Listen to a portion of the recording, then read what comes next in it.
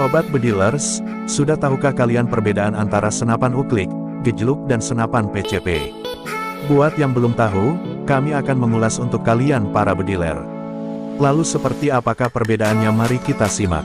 Senapan uklik, gejluk dan senapan PCP Precas Pneumatik adalah tiga jenis senapan udara yang populer digunakan untuk berburu atau olahraga menembak.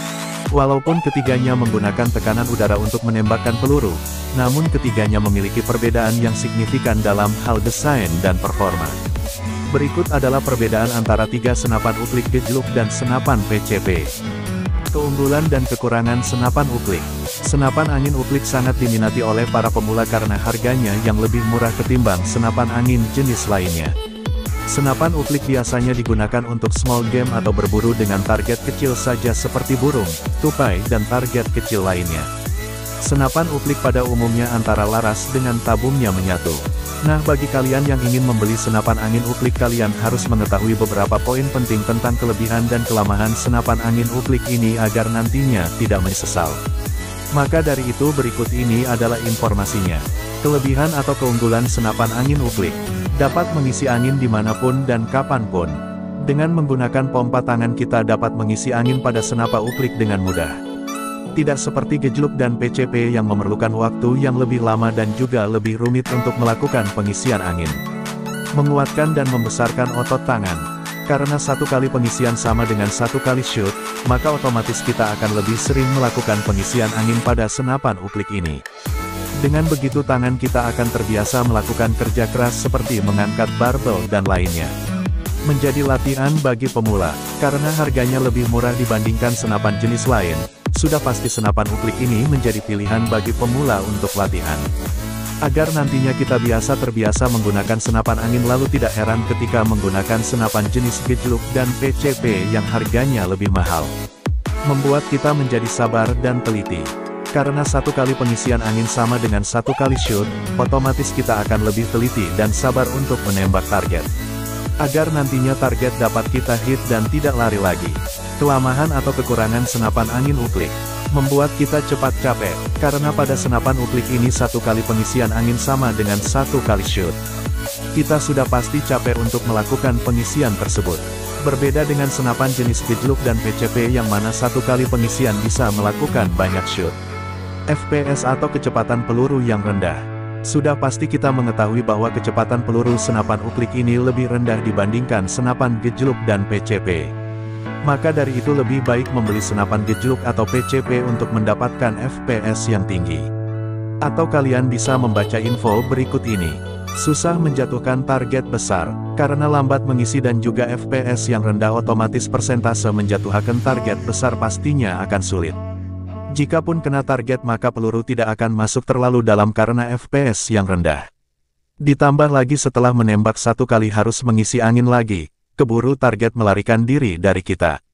Begitulah tadi info tentang senapan angin uklik ini. Senapan angin gejluk. Senapan angin gejluk merupakan senapan asli kreasi anak bangsa.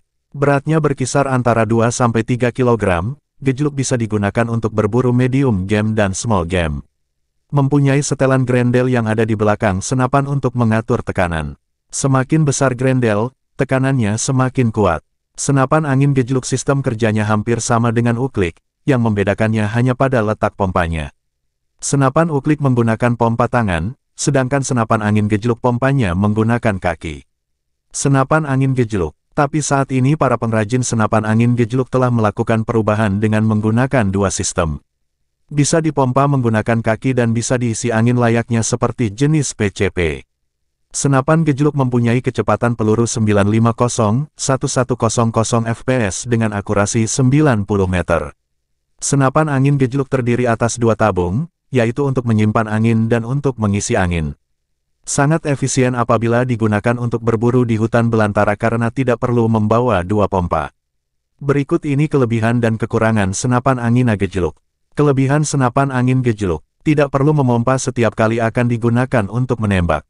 Hal ini karena tabung angin sudah cukup kapasitasnya untuk dipakai hingga beberapa kali menembak. Senapan angin gejluk sudah dilengkapi dengan speed grendel untuk dapat mengatur kecepatan ataupun kekuatan tembakan menurut jarak bidik dan juga besar kecilnya ukuran sasaran tembak. Jika dilihat dari segi powernya, senapan angin ini mempunyai kualitas yang sangat baik karena mengadopsi keunggulan senapan angin PCP. Tidak membutuhkan tambahan pompa eksternal karena senapan angin ini sudah menggunakan sistem pompa yang terintegrasi dengan senapan angin. Senapan angin gejluk juga dinilai efisien karena tidak tergantung kepada pengisian tabung scuba atau pompa. Senapan angin ini dilengkapi dengan pompa manual yang bisa digejluk-gejlukkan ke bawah. Kelebihan senapan angin gejluk, tidak perlu memompa setiap kali akan digunakan untuk menembak. Hal ini karena tabung angin sudah cukup kapasitasnya untuk dipakai hingga beberapa kali menembak.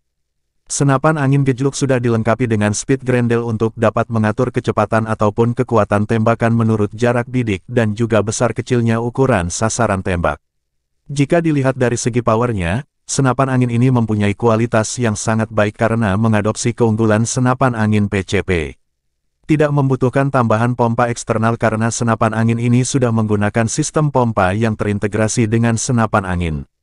Senapan angin gejluk juga dinilai efisien karena tidak tergantung kepada pengisian tabung scuba atau pompa. Senapan angin ini dilengkapi dengan pompa manual yang bisa digejluk-gejlukkan ke bawah. Kekurangan senapan angin gejluk Selain memiliki banyak kelebihan, senapan angin gejluk juga memiliki beberapa kelemahan seperti berat sehingga membutuhkan tenaga yang ekstra untuk membawa senapan ini. Menghabiskan banyak waktu untuk memompa. Ketika memompa akan menghasilkan guncangan yang sangat keras, sehingga bisa merusak settingan teleskop. Pemompaan yang tidak dilakukan secara bertahap, mengakibatkan karet seal di dalam pompa tidak awet. Senapan angin PCP PCP singkatan dari Precast Pneumatic, merupakan senapan angin hasil perkembangan teknologi menggunakan sumber tenaga dari udara dengan tekanan tinggi. Senapan ini sering dijuluki sebagai senapan yang eksklusif atau premium. Memiliki ukuran yang besar tetapi tidak berat. Beratnya hanya mencapai 2,5-3,5 kg. Senapan PCP mempunyai kecepatan peluru 1200 fps dengan akurasi 110-120 meter.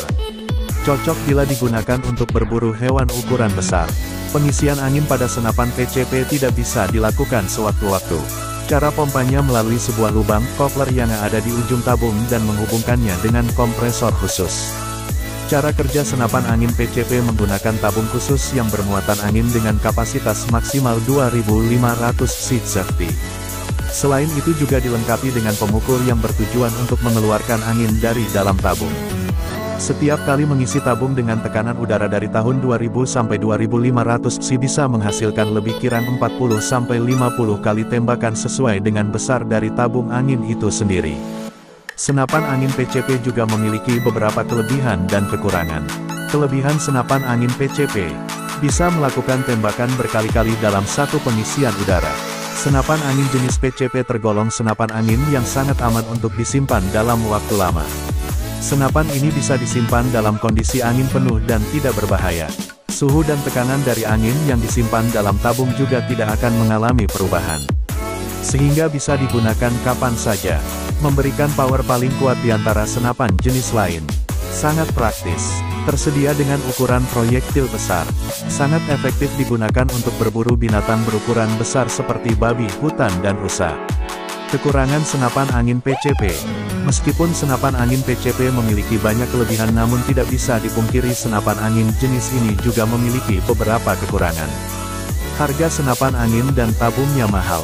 Oke Sobat Bediler cukup sekian kali ini tentang tiga senapan uplik gejluk dan PCP semoga Sobat Bediler tidak salah memilih senapan angin Oke Sobat Bediler sedikit himbauan dari saya berhati-hati saat berburu maupun berisi mimis atau berisi angin dan jangan sekali-kali diarahkan ke orang lain karena bisa merugikan diri sendiri dan orang lain.